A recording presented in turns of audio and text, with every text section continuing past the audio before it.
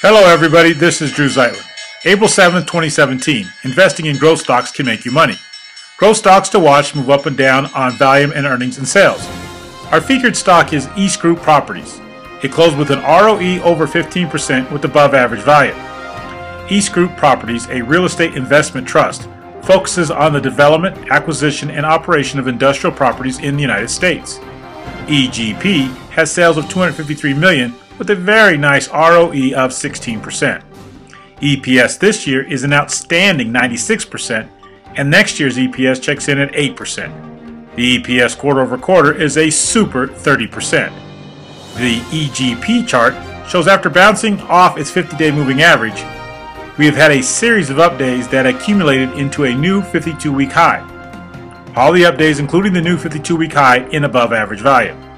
If you'd like to support Drew Zeitlin and see all our videos, please visit drewzeitlin.blogspot